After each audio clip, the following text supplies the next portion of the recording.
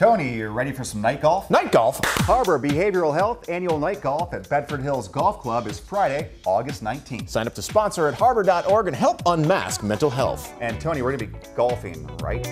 Maybe dancing.